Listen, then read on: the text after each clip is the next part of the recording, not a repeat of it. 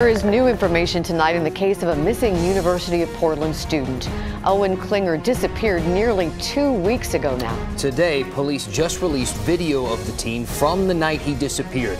KGW's Catherine Cook spoke to Owen's parents. Tell us what they think this means. Well, guys, first of all, they're grateful this keeps their son's case in the media more, possibly getting more help for it. Also, the video shows Owen going a different direction than initially thought, and they hope that brings in more video and possibly more clues. It's just hard. It's hard not knowing, and it's hard to look any places. We've looked in the same places three times. And still, the search for 18 year old Owen Klinger continues.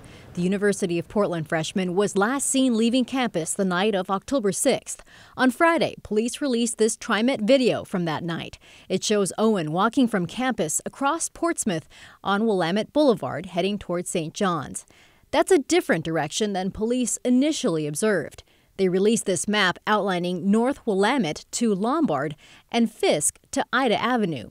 They're asking neighbors along there to review surveillance and doorbell video from the night of October 6th looking for Owens. That could maybe give us the next point, a handoff of Owen's direction. Police are also requesting Owen's cell phone data from T Mobile and Google. Initially, they thought Owen had turned off his phone.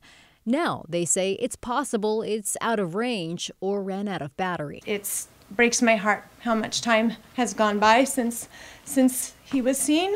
Um, but I'm, I, you know, I guess I'm encouraged that the police are working um, and really adding to this effort. The Klingers estimate 400 volunteers have searched 300 acres for Owen. They say before he vanished, Owen seemed happy and in touch with friends and family. Owen is 18, but he's not an inconsiderate, self centered kid. And to leave like this is so out of character. The Klingers believe Owen is still alive and yet, the not knowing is really, really, really hard. They're counting on anyone who's willing to keep looking for their son. Owen matters. We just need your help in bringing him home. Volunteers are planning to search for Owen tomorrow morning.